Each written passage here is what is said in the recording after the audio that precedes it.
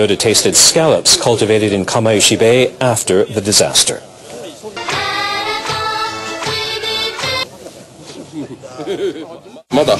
I was told that the fishing hauls have recovered to around half their peak level. I will do my best to support the industry's revival. I even went so far as to falsify the report. Noda later visited another tsunami-hit town, Otsuchi, to see its temporary shops and houses. Fishermen in Fukushima Prefecture are heading out to sea again. They're hoping a test catch will show that local seafood is safe to eat. Fishing crews gathered early Saturday at a port in Soma City.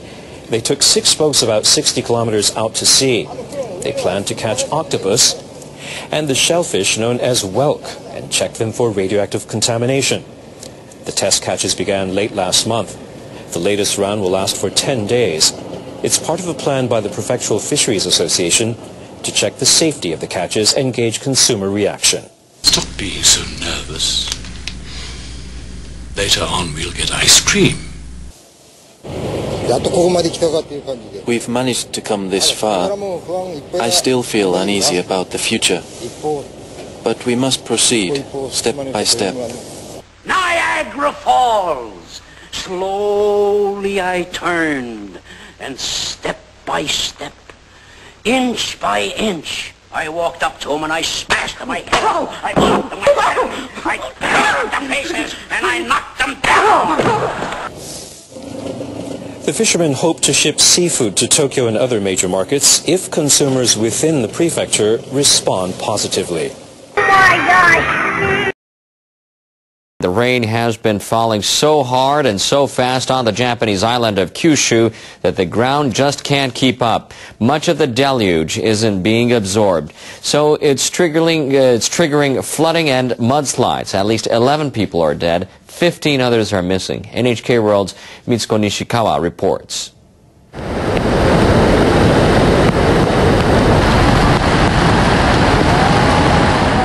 This is the sometimes brutal reality of Japan's rainy season.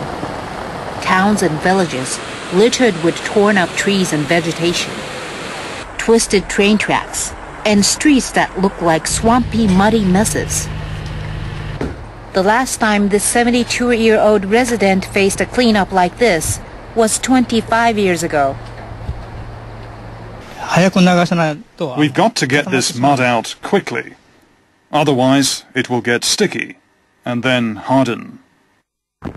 The rain started coming down around dawn in most places, and it came down hard, pelting the ground and lashing buildings. People awoke to find usually calm rivers had turned into roaring torrents.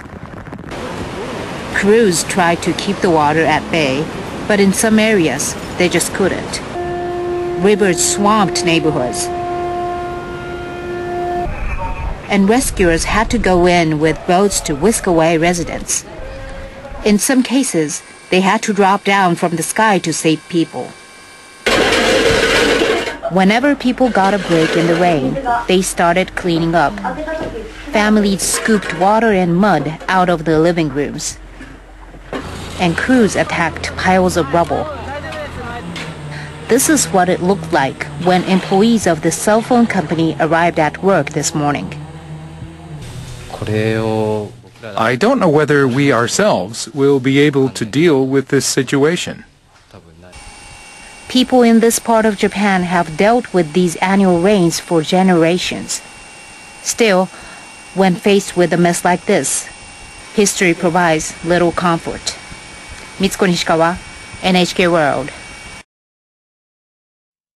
the record rain in Kyushu during the last four days. Tens of thousands of households are under evacuation orders. Officials at the Meteorological Agency say warm, damp air from the south is fueling the rain front. Hourly rainfall in Yame City, Fukuoka Prefecture topped 110 millimeters on Saturday morning. More than 800 millimeters of rain have fallen in Aso City, Kumamoto Prefecture over the last three days. The record rainfall is hindering the search for missing people. My relative is missing. All I can do is worry about that. River levels rose sharply and the risk of mudslides is also up within the region. Officials have issued evacuation orders or advisories to people living near mountains. About 119,000 people in northern Kyushu have been told to evacuate their homes. Weather officials are also warning people to be on the alert for tornadoes and lightning. Officials at Japan's industry ministry have come up with a way to overhaul the way electricity is generated and supplied. They say they want to completely libera liberalize the power market so people can choose their suppliers. The officials want to unbundle the generation and transmission operations of power companies. They want lawmakers to revise legislation quickly to make that possible. The changes would end the regional monopolies of utilities that have been generating, transmitting and selling electricity for decades. All suppliers would get equal access to power lines. People in Japan endured a serious shortage of electricity after the nuclear accident in Fukushima. That shortage prompted government officials to start discussing ways to overhaul the supply system in February. For a while, people were talking about the molten mixture of isotopes, mm-hmm. which they call corium. I think it was just a, uh, you know, expanding on the, the idea of a radioactive core, so they call it corium. Uh, and this is the molten mass. And what's happening with it? Where is this? It's, Do we know what's going on? I don't think so. And there were there were uh, discussions at one point about concerns about the corium hitting the water table and other problems. And where that situation stands, I don't know. I actually have read very little about it. Um, and again, I find that uh, uh, not good. So the, I, the, I, the, core could be burning down through the the, the floor of the facility and, and actually boring down through the Earth's crust. Is is that possible? Uh, you know, I I don't think it's uh, you know you get into this China syndrome right. uh, kind of idea, but but uh, in fact, it's it's um, it's it's less dramatic than that, but in another way, more worrisome. Uh, you know, it's not a matter of this core going into the center of the Earth. It's it's more a question of whether or not it hits the water table of the uh, mm-hmm. of the area. Because when that happens, then you begin to have uh, contamination in the water table. You begin to have steam releases. You could have explosions. You could have other uh, types of events. And I don't want to say too much about that because I, I haven't studied that in detail. But, but I will say that, that I, I do feel very strongly it's another issue that should be studied intensely, and we should all be hearing about it.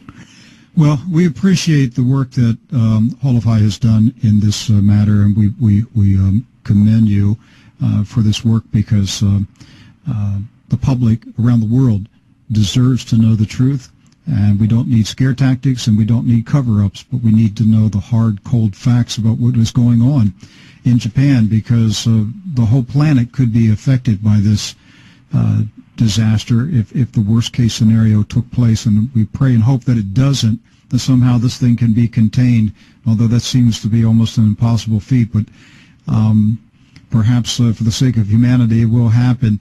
Uh, I appreciate uh, my guest today, Dr. Paul Galey, and he's the uh, CEO of the uh, Swiss Industrial Analytic Think Tank. We have waited, have waited for so long for somebody to listen to us.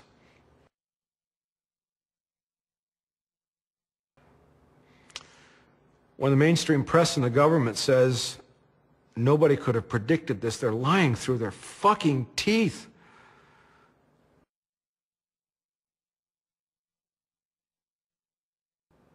We all saw exactly what was going to happen and how it was going to happen, and remarkably, when it was going to happen. None of us expected the collapse to be as severe as it's proving to be or as fast as it's proving to be. But we've been screaming for years, and we've been watching everything we said come to pass, and we have felt so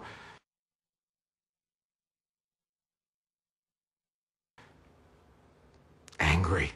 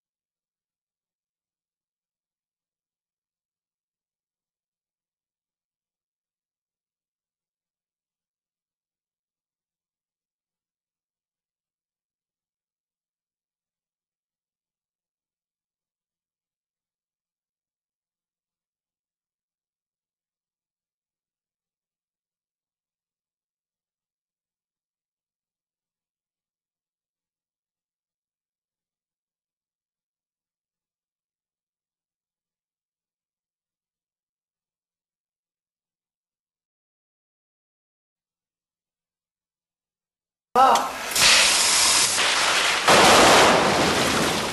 generation of fans remembers the first time they saw Godzilla stomp across the big screen.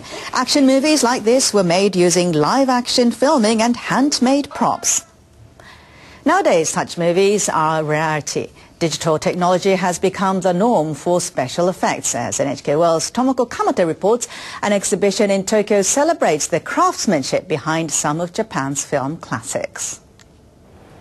Film directors today can create almost anything with computer graphics, monsters, aircrafts, or even living creatures. But back when there are no computers, filmmakers had to use more basic tools to devise scenes that didn't exist.